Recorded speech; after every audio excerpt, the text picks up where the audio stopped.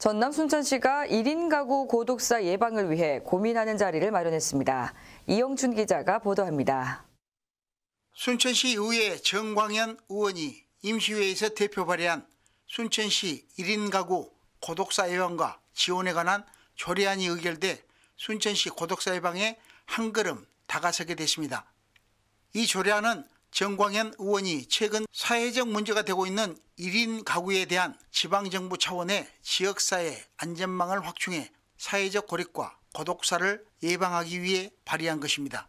제가 이번에 조례안을 발의하게 된 계기는 어르신 한 분이 쓰러져 계시는 것을 제가 발견을 하고 자칫 골든타임을 놓쳐서 더 큰 사고로 이어질 수가 있었는데 그거를 보면서 최근 사회적으로 문제가 되고 있는 사회적 고립, 즉 1인 가구 고독사에 대한 것을 예방하고 지원을 할 수 있는 조례안을 찾아보다가 최근 많은 지자체에서 고독사 예방을 위한 조례가 마련이 되어 있고 전남에도 많은 시군에서 조례안이 발의되어 있음에도 불구하고 순천에는 이 조례안이 없어서 대표 발의하게 되었습니다.